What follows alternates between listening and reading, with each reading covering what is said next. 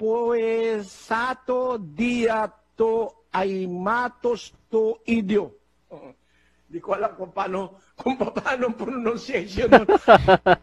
Kita niyo mga kapatid? Ang patungkol pa rin sa MCGI dahil ah, ipinagmamalaki talaga mga kapatid nitong mga taga MCGI ang kanilang ah, ang ah, puno na si Eliseo Soriano. Yan. So tingnan natin mga kapatid ano nga ba yung ah, mga nadi-discover natin. Dahil eto naman oh. ah, may nagpasa sa akin ng ah, link mga kapatid no. Yan, at alam na ng taong ito kung sino yung tinutukoy ko na nagpasa sa akin ng ah, link upang ipakita naman po o isiwalat naman ang ah, katotohanan patungkol po sa MCGI. No? Most particularly sa kanila pong ah, kinikilalang tagapag ah, turo nila o yung ah, head of their uh, organization mga kapatid. no? Ang ah, puno nila na si Eliseo Soriano. no? At sa pagkakataong ito ay ah, mapapakinggan po natin mga kapatid, no? Makikita po natin ang ah, katotohanan dito. Kung dapat nga ba tayong maniwala o dapat na tayong na umunawa. Dahil ah, ah, very alarming na po mga kapatid ang mga pangyayari dahil patuloy at patuloy na na nang iingganyo po no itong ah, MCGI at ah, patuloy sila na namamayagpag grabe no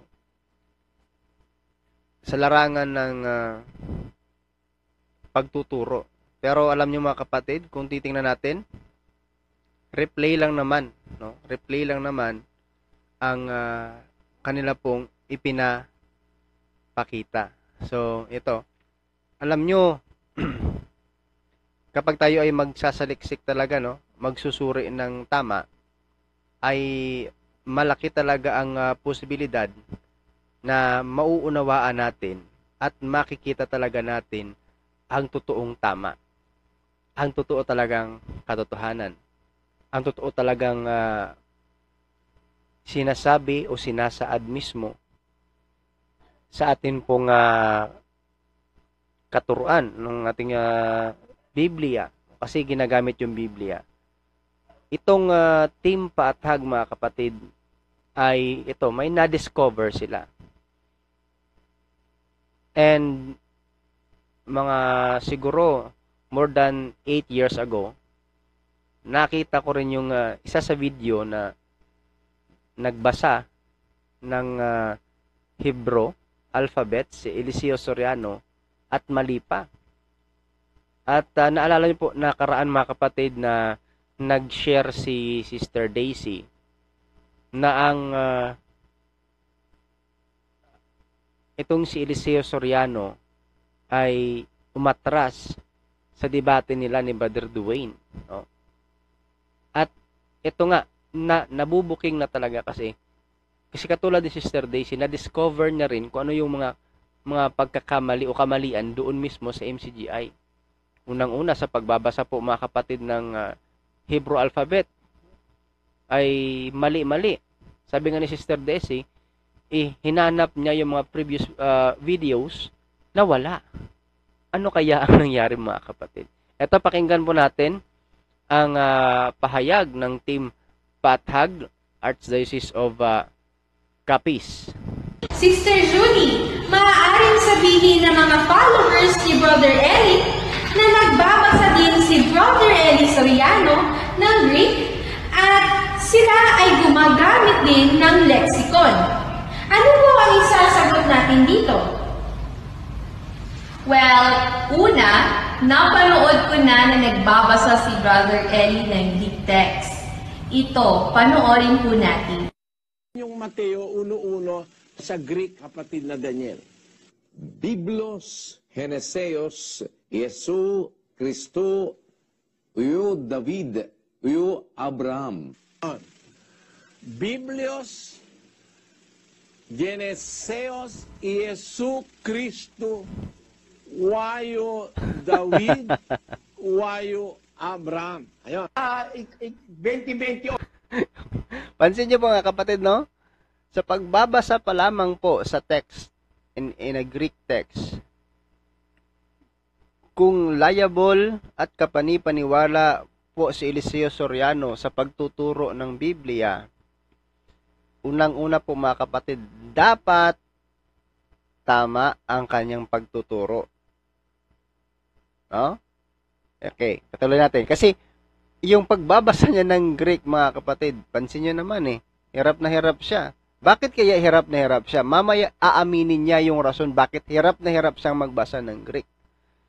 If you are really faithful to what you are doing, preaching, no, sharing the good news, sharing the Bible to all the people, dapat, no, faithful ka rin sa pagsabi ng buong katotohanan, no? At ta- sana talaga humarap siya sa isang maginoong debate. Eh, paano pa ito haharap? Eh, noong buhay pa eh, hindi humarap. Ngayon pa kaya?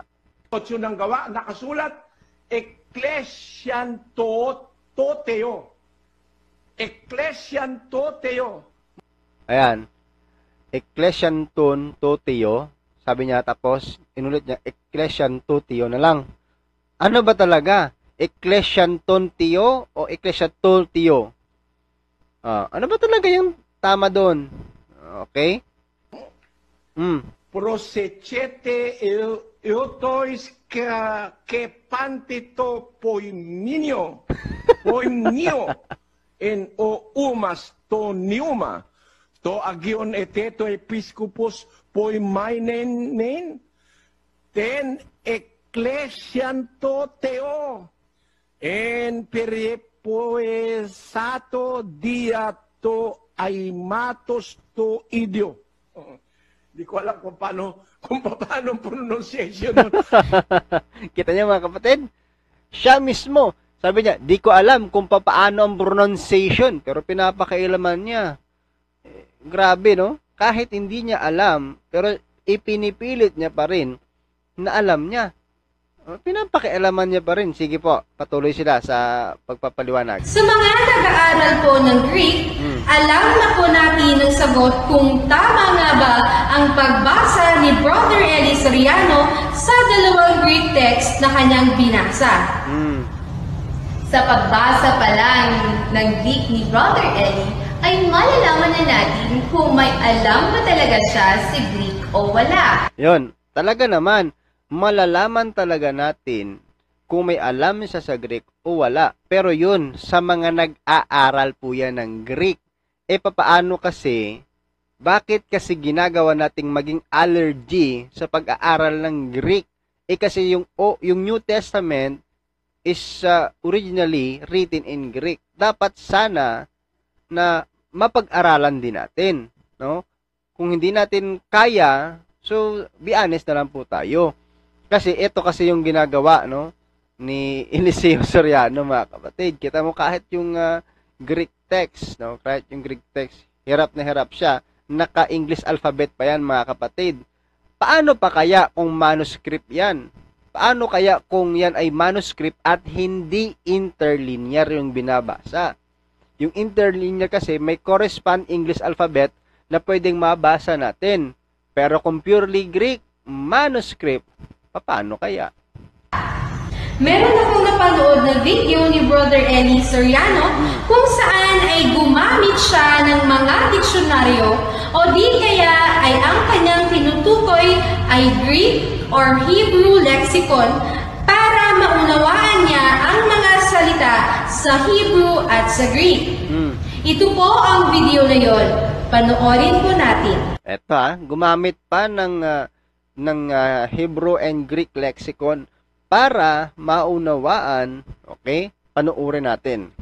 Kaya ako nag, nagsasaliksik, kahit po ako walang pinag-aralan, At pakinggan niyo mga kapatid ha? Kaya daw siya ay nagsasaliksik kahit siya ay walang pinag-aralan. At alam niyo mga kapatid, ito, ano ang ano kaya ang kanyang ah, ang kanyang convincing power mga kapatid to convince sa mga tao na nakikinig sa kanya na hanggang ngayon ay nauuto pa rin. Eto, Pati Grego, pinapakialaman ko. Pati Ebraiko, pinapakialaman ko. o pakialamero pala ito. Hebro at ah, Gre- Greek, no? Hebraiko, sabi niya, at Griego, pinapakialaman niya po kahit hindi niya alam ito. Pero pinapakialaman niya ito. Sige po.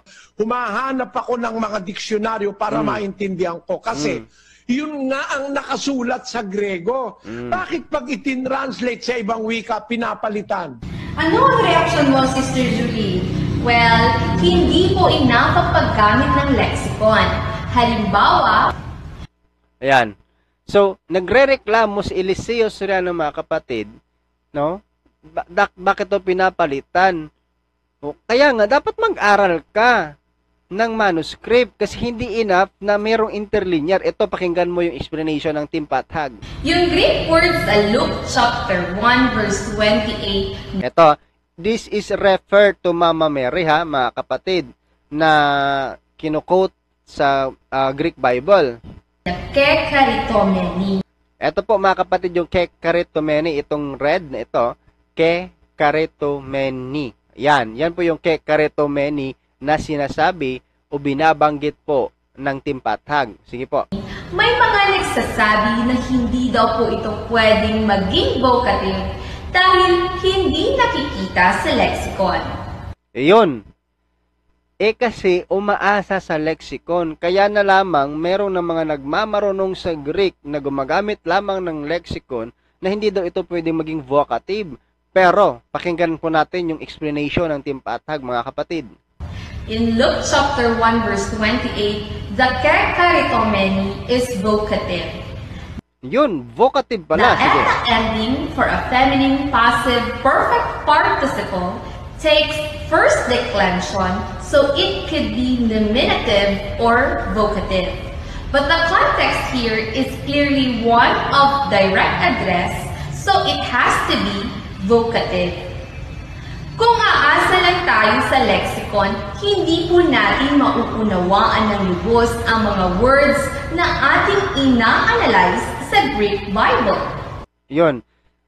Totoo talaga yan. Kaya mahirap talaga mga kapatid. Naalala ko tuloy, nung time po nag, nag-mission kami sa Aklan, no? nakapag-discussion tayo sa mga Jehovah's Witnesses. At alam niyo po, no? ah, pinagtulong-tulungan ako ng limang Jehovah's Witnesses. And yung pinaka-highlight question doon, yung pinaka-head nila, tinanong ako, bakit ba ikaw ba? Nabasa mo na ba ang buong Biblia? Ang sagot ko po sa kanya mga kapatid, pinag-aaralan ko. You know, and you know what mga kapatid, sabi ng aking mentor, mas, no, mas mabigat ang sagot mo, no? Dahil madali lang kasi ang magbasa. Totoo naman talaga mga kapatid, madali ang magbasa. Alam mo lang yung alphabet, alam mo yung pronunciation, madali lang magbasa. Pero po, mga kapatid, mahirap ang pag-aralan ito. Dahil yung Biblia kasi, hindi siya nakastick lamang sa English at saka sa translated na Bible natin, yung Tagalog at ano pang mga lingwahe dyan. Mahirap. Kaya mas, ma- mas, mas dapat nating gagawin mga kapatid is pag-aralan talaga nating mabuti. Sige po, patuloy natin itong ah, video ng paathag. Pero baka marunong din si Brother Eli ng Greek grammar. Meron po akong ipapanood na video sa inyo. Ang Biblia na merong nakasulat kagaya ng Bodmer Papyrus, nakalagay dyan, monogenes oh, Theos, the only begotten God. Eto mga kapatid, pakinggan nyo kung paano ipapaliwanag ni Brother Eliseo Soriano ang, ah, ang manuscript na ito no, na monogenes theos na sinasabi niya or the only begotten God. Meron po siya ditong nakaligtaan o nakalimutan. Mamaya malalaman natin. Yung salitang monogenes theos, the only begotten God. Mm. Monogenes theos. Mm. Yung mono kasi only yun eh. Nag-iisa. Yung genes, yung begotten. Yung theos, God. The only begotten God. Ano, Sister Julie, ang iyong reaksyon sa video? Yan. So pakinggan natin, totoo ba talaga na ganoon yung explanation o baka may nakalimutan ito si Brother Eliseo Soriano dahil ac- actually mga kapatid, yung manuscript na yun, pwede naman kasi yung masilip sa interlinear. But, ito nga yung sinasabi natin, hindi dapat na always rely to the interlinear. Mas maganda kasi pinag-aaralan din ito. Pakinggan po natin. Well, una, yung binasa ni Brother Eli na manuscript ng Greek ay isang 3rd century Greek manuscript na kung tawagin ay Papyrus 75 or E75. Binasa niya ang monogenes theos at isinalin niya ito bilang the only begotten God. Pero napansin ko na hindi niya talaga alam ang Greek Yon, napansin talaga, mapapansin talaga sa mga nag-aaral ng Greek na hindi alam ni Eliseo Soriano dahil merong definite article, no? Hindi niya nakita yung definite article o baka nakita niya yan pero hindi niya lang alam that is a definite article. Dahil kung alam niya ay isinama niya sana pati ang definite article na ko. Mm. Sa mga nag-aaral ng basics ng Greek ay alam nila yan. Mm. Yon, sa mga nag-aaral ng basic ng Greek ay alam nila yan.